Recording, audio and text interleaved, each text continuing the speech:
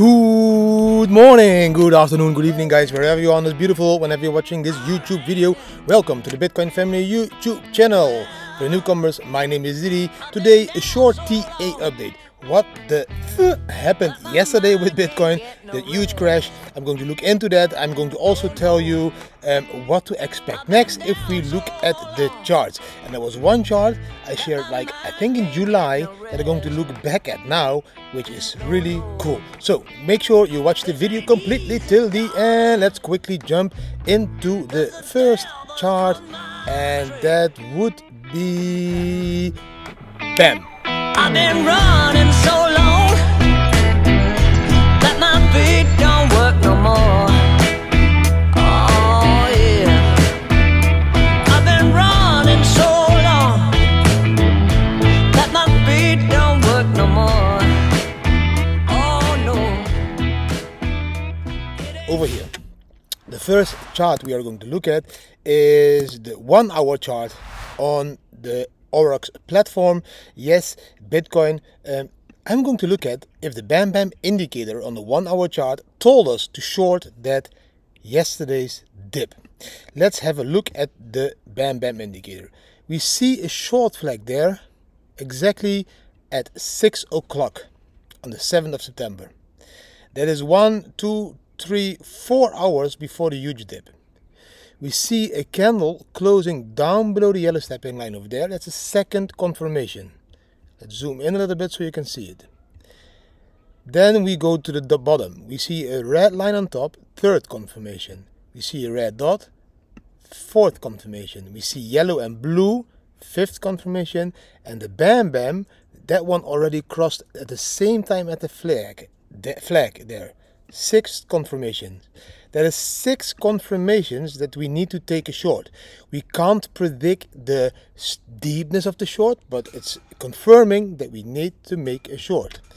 Now, let's take that short very late. Here, the short flag was at, let's say, seven, 6 o'clock. We take the short at 9 o'clock. So three hours later, you have three hours to take that short. From that moment on, guys, till the ultimate bottom, um, was like 18%. Of course, we wouldn't have sold there. We would have sold at that long flag probably over there, which was around 11%. This is without leverage. With a leverage of 10, that would be a 100% trade because of the BAM BAM indicator. And yes, also on the 15 minute, um, this uh, the indicator already showed that short. So whatever level, um, whatever time frame you're trading, here you can see it that short. It was a very valid short. Really cool. Now let's jump into here. Bam. Um, this chart um, shows you, I shared this one in July 21, 21st July, that also the BAM indicator works on the weekly time frame because on the 20 on the 5th of July, sorry, on, on the 5th of July, like you can see here in 2021, it gave a long flag in Bitcoin that was at 28k. We went all the way to up now to 50k. That's a lot of profit if you just took that trade on the weekly chart with the BAM BAM indicator. Now, BAM, next chart, Gaussian channel. This one, we told you yesterday, we need to break out of it. And like you can see, we almost broke out of it.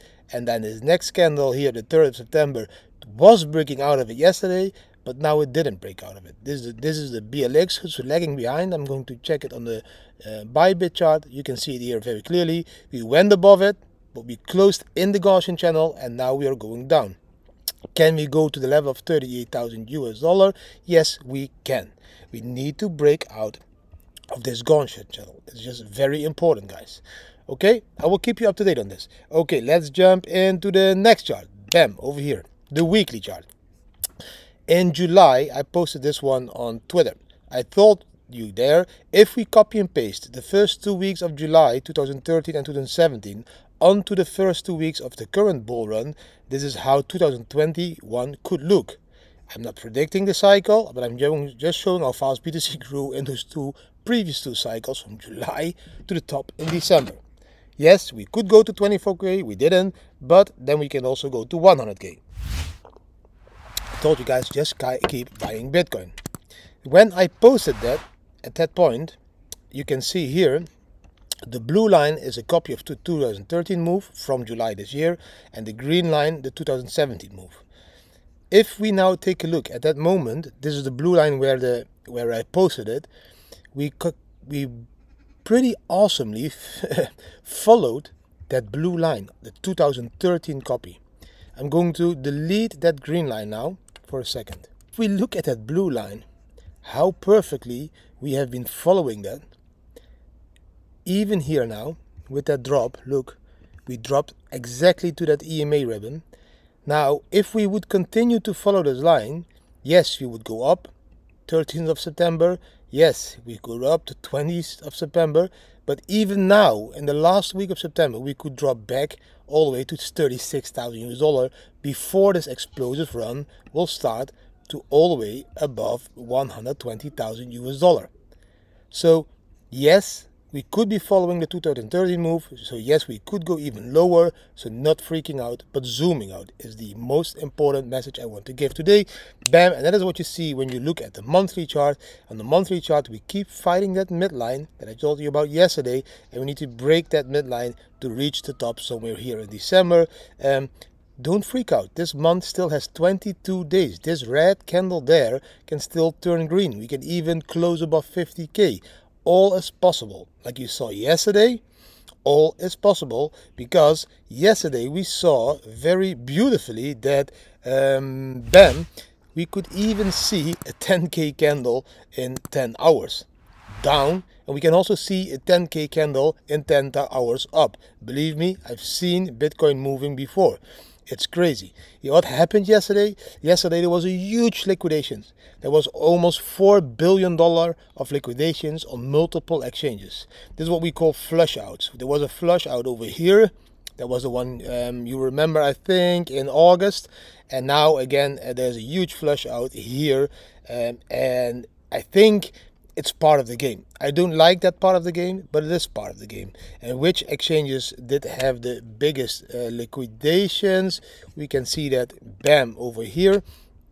Um, in this chart, you can see that it was on Binance 43 million, uh, Bybit 127 million, Deribit 50 million, FTX. This is this is the place where the professional traders trade 850 million. So there's a lot of losses, even by professional traders, guys. In total, 3.6 uh, US dollar was liquidated. And that is exactly what I just want to end this video with because it's very important to understand, guys, that bam, you need to decide if you are a trader or a hodler. Are you just accumulating as much as possible bitcoins by dollar cost averaging, or do you really want to trade? And if you want to trade, do you want to spot trade or do you want to leverage trade? Spot trade, you cannot be liquidated. Leverage trading, you can be liquidated. And that is a very important part to understand. If you get liquidated, you lose your bitcoins. So you need to make up your mind what kind of trader am I, what kind of risk do I want to create, and what kind of portfolio do I want to create around that risk um, that I want to take. For me, I do all the stuff. I leverage trade, I spot trade, I swing trade, I just hodl a lot of bitcoins because I believe in the long term.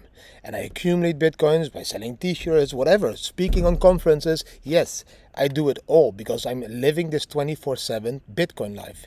For you, you need to make a decision for yourself. If you want to spot trade or leverage trade, then the indicators like the BAM BAM indicator could be very helpful, like you have seen. They can help you to tell you when to buy and when to sell. They are not able to predict the future, but they can be a tool to help you ease your mind when it comes to trading. You don't need to do the calculations yourselves.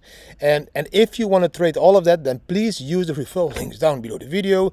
At Phemex, I think we have a $4,000 bonus. I think at Bybit, there is also like a $1,600 bonus. At uh, Prime XBT, a 50% deposit bonus, which means if you deposit two Bitcoins, you get one Bitcoin extra to play. That's a lot of free money. If you get $1,600 um, on Bybit, that means if you trade with a leverage of 10 or 20, that's almost $20,000 you can trade freely with. Guys, um, be wise, only play with money that you can afford to lose, like you saw yesterday, you can lose a lot if you play with too much risk. Um, I hope you um, really enjoyed today's video again. If you did enjoy the video, give the video a thumbs up, share it with your friends and family, subscribe to the channel, hit the notification bell, and leave a comment. What do you think about the charts? What do you think about the liquidations yesterday? What do you think about these helpful tools like the Bam Bam? Could they be helpful to you? Let me know down below in the comments. Thanks for watching, and hopefully see you tomorrow again them.